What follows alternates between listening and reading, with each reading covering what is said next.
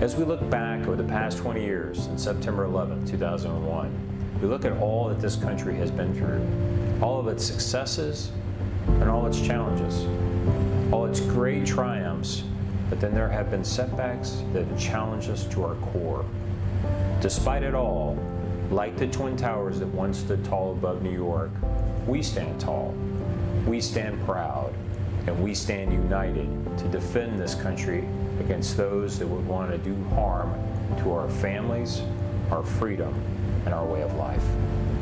When you walk on board USS Arlington and talk to the sailors and Marines, those same feelings resonate amongst the crew. The team is proud of what they do and honored to serve on a ship named after such a tragic yet defining event in our country's history.